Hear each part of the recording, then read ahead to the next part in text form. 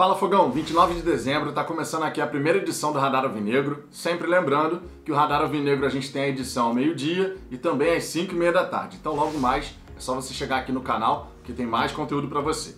Quero conversar aqui contigo a respeito da permanência de Anderson Moreira.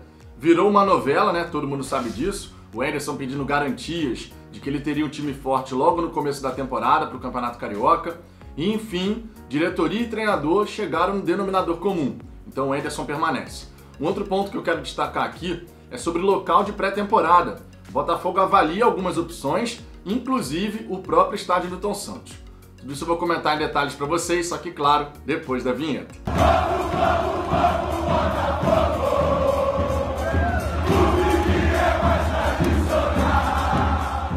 Vamos lá, Fogão, para começo de conversa, peço por gentileza que você deixe o seu like. Isso é muito importante, traz mais botafoguenses aqui pro canal, nos ajuda a crescer, portanto.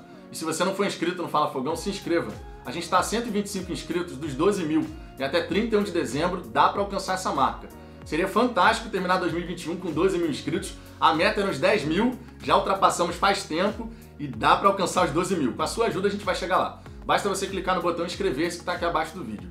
Se você já foi inscrito, considere se tornar um membro aqui do Fala Fogão. A partir de R$ 4,99 por mês, você tem benefícios exclusivos para assinantes fortalece o trabalho que a gente faz por aqui e a partir de 2022 pode participar das lives que a gente faz aqui no canal. Toda terça, quinta e domingo às 10 da noite a gente tem live aqui no Fala Fogão, aquela resenha gloriosa com a participação da galera do chat. Mas os membros agora vão poder participar das lives ó, do lado de cada das câmeras. É mais um benefício que a gente está oferecendo para a galera que chega junto, é assinante aqui no Fala Fogão, certo? Como eu estou falando de live, aproveito para destacar que lá no Spotify, toda segunda, quarta e sexta, você encontra os episódios, né, as resenhas que a gente faz aqui no YouTube, você encontra em formato de podcast.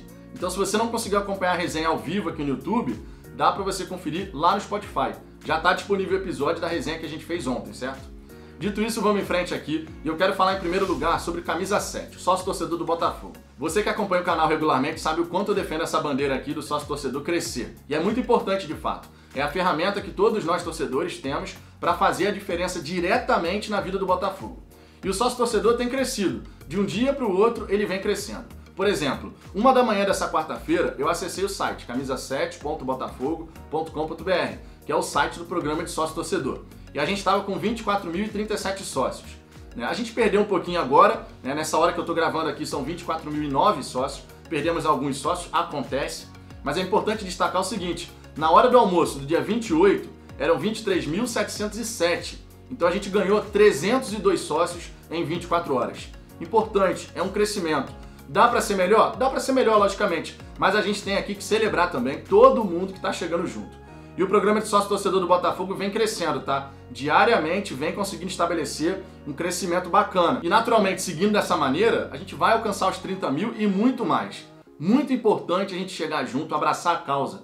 Eu sei que o Botafogo tem todo um histórico de frustrar o seu torcedor, as administrações passadas, que era uma cagada só, mas a gente está enxergando no horizonte uma luz no fim do túnel que não seja um trem em alta velocidade vindo na nossa direção, né? porque antigamente era. Mas agora não, é uma luz de esperança é hora da gente abraçar a causa. Então, mais uma vez, se você pode ser sócio torcedor, não vai te fazer falta o dinheiro, seja sócio torcedor. Fortaleça o Botafogo. É muito importante isso. E eu assumi o compromisso aqui no canal de trazer diariamente para você aqui os números. Então, estamos nesse momento que eu gravo com 24.009 sócios. Vamos ver amanhã, 24 horas depois, certo? Que a gente siga nesse caminho de crescimento.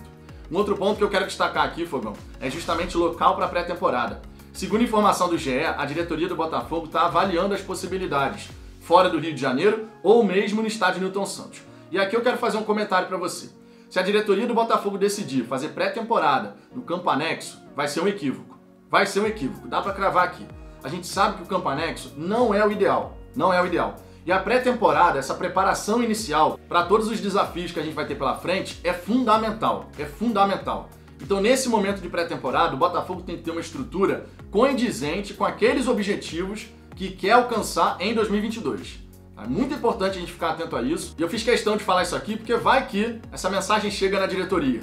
Não faça pré-temporada no estádio Newton Santos. Vai ser um erro, vai ser um equívoco. Tem que buscar um outro local. Eu sei que existe contenção de gasto, de despesa, normal, normal, é necessário no Botafogo, mas pré-temporada é fundamental para que a gente faça uma preparação correta 100% adequada aos nossos objetivos, para que o Botafogo possa fazer um ano bacana, certo? Então não façam pré-temporada no estádio Newton Santos. Vai ter que gastar um pouquinho agora? Sim, vai. Mas vai colher lá na frente. É plantar agora no começo da temporada para mais adiante a gente poder colher resultados bem interessantes que vão obviamente deixar o torcedor botafoguense feliz. Muito importante essa questão, certo? Quando eu li essa informação lá no GE, confesso a vocês que eu fiquei preocupado. Tá? Essa história de pré-temporada no Newton Santos não vai funcionar. Então, tomara que a diretoria do Botafogo pense nessa questão, porque convenhamos, a gente já tem que treinar no campo anexo do Newton Santos. Agora, pré-temporada por lá, a preparação inicial, aí, sinceramente, é errado. Não, não dá, não dá. Sinceramente, não dá. Um outro ponto aqui que eu quero destacar para você, Fogão, é justamente a permanência de Anderson Moreira, né?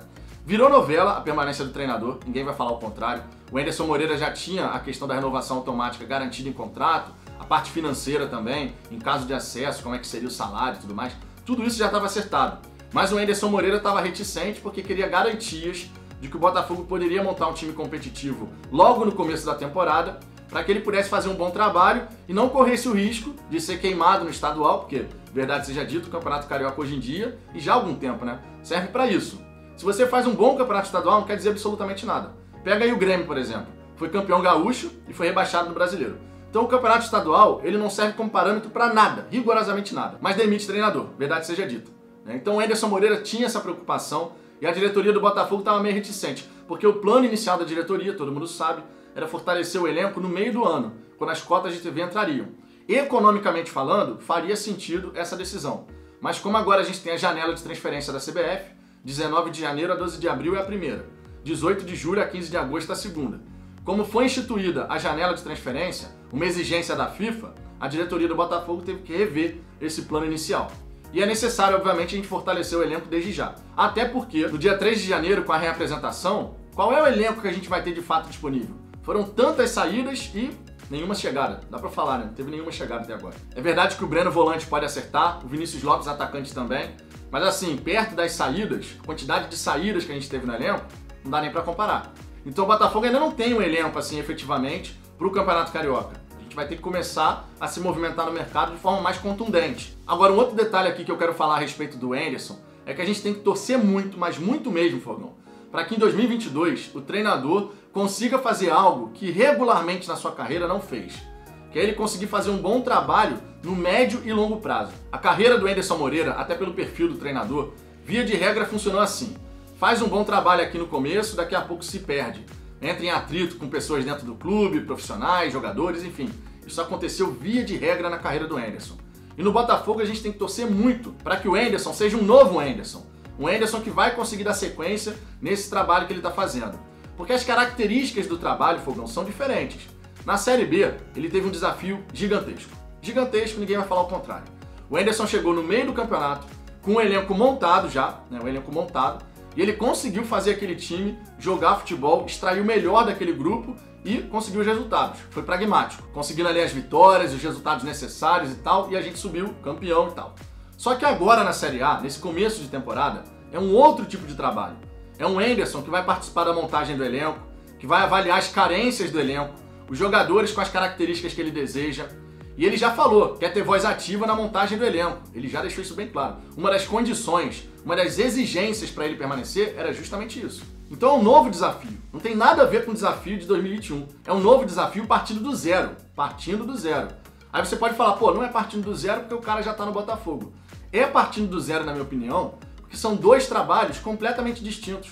O que ele fez na Série B é uma coisa, tá escrito, não vai mudar mais. Agora na Série A, em 2022, começando do zero, participando da montagem do elenco, sugerindo nomes, avaliando características de jogadores, é sim um recomeço. É começar do zero. Porque o desafio é maior. O desafio é bem maior. Você chegar no meio de uma temporada é complicado, logicamente. Porque se você chega no meio de uma temporada, é porque o treinador anterior não estava fazendo um bom trabalho. Era o caso do Chamusca. Agora, quando você começa do zero, uma nova temporada, tendo voz ativa na montagem do elenco, pode ter certeza.